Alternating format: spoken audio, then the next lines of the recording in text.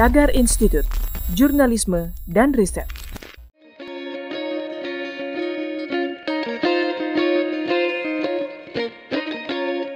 Halo Tagarians, para penonton Tagar TV dan juga pembaca Tagar ID, terima kasih Anda tetap setia di YouTube channel Tagar TV. Hari ini saya, Kori Olivia, ingin membacakan ulasan pilihan redaktur Tagar tentang sejarah Provinsi Maluku. Maluku sudah dikenal sebagai kawasan kepulauan yang kaya dengan rempah-rempah sejak zaman dahulu kala. Pada awal abad ke-7, kelompok pelaut dari daratan Cina sering mengunjungi Maluku untuk mengambil rempah-rempahnya. Kemudian di abad ke-9, pedagang Arab berhasil menemukan Maluku setelah mengarungi Samudra Hindia. Lalu pada abad ke-14, ini merupakan masa perdagangan rempah-rempah Timur Tengah yang sekaligus membawa agama Islam ke Kepulauan Maluku. Bangsa Eropa yang pertama kali menemukan Maluku adalah Portugis pada tahun 1512. Setelah mereka menjalin persahabatan dengan penduduk dan raja-raja setempat, Portugis diizinkan mendirikan benteng di Picaoli. Tapi hubungan dagang rempah-rempah ini berlangsung singkat karena Portugis menerapkan sistem monopoli sekaligus menyebarkan agama Katolik.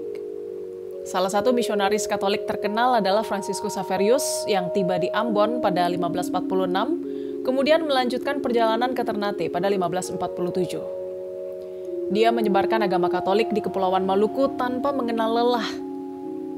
Persahabatan antara Portugis dan Ternate berakhir pada tahun 1570 ketika terjadi perang dengan Sultan Babullah dan pasukannya hingga membuat Portugis terusir ke Tidore dan Ambon. Belanda pun memanfaatkan perlawanan rakyat Maluku terhadap Portugis pada tahun 1605, Belanda memulai strateginya dan berhasil menguasai sebagian besar wilayah Maluku. Kedudukan Belanda di Maluku semakin kuat dengan berdirinya kongsi dagang Hindia Belanda VOC. Perdagangan cengkeh di Maluku sepenuhnya di bawah kendali VOC selama hampir tiga setengah abad. Pada awal tahun 1800, Inggris mulai menyerang dan menguasai sejumlah wilayah kekuasaan Belanda seperti Ternate dan Banda. Lalu Inggris berhasil menguasai Maluku pada tahun 1810. Namun sesuai konvensi London tahun 1814, Inggris harus menyerahkan kembali seluruh jajahan Belanda kepada pemerintahan Belanda, maka mulai tahun 1817 Belanda kembali berkuasa di Maluku. Meski begitu, rakyat Maluku di bawah pimpinan Kapitan Patimura bangkit melawan Belanda. Berita kemenangan Patimura dan pasukannya telah membangkitkan semangat perlawanan di seluruh Maluku.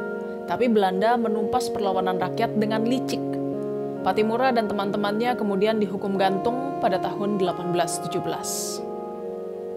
Pecahnya Perang Pasifik pada 1941 sebagai bagian dari Perang Dunia II mencatat era baru dalam sejarah penjajahan di Indonesia. Saat itu pemerintah Hindia Belanda menyatakan dalam keadaan perang dengan Jepang. Jepang pun berhasil masuk dan menguasai Kepulauan Maluku pada 1942, sampai akhirnya Jepang dikalahkan pasukan sekutu dan Indonesia menyatakan kemerdekaan pada 1945. 19 Agustus 1945, Maluku dinyatakan sebagai salah satu provinsi Republik Indonesia. Tapi pembentukannya saat itu terpaksa dilakukan di Jakarta karena Belanda kembali datang dan mencoba berkuasa lagi di Maluku. Bahkan setelah keluar pengakuan kedaulatan terhadap Indonesia pada 1949, Belanda mensponsori terbentuknya Republik Maluku Selatan. Pembentukan Maluku sebagai provinsi secara resmi terjadi 12 tahun kemudian berdasarkan Undang-Undang Darurat Nomor 22 Tahun 1957. Kemudian pada masa pemerintahan B.J. Habibie, terjadi pemekaran provinsi untuk mempercepat pembangunan di beberapa wilayah potensial. Atas dasar itu, Provinsi Maluku dibagi dua, yaitu Provinsi Maluku dan Maluku Utara. Di sektor pariwisata, Maluku memiliki beragam objek wisata, terutama wisata alam seperti Pantai Ora, Pantai Pasir Panjang, dan Gunung Kerbau. Tagarians, demikian ulasan pilihan redaktur Tagar hari ini tentang sejarah Provinsi Maluku. Subscribe YouTube channel Tagar TV dan klik loncengnya juga untuk mengikuti video menarik membahas topik terhangat hanya untuk Anda. Saya Kori Olivia, Tagar TV.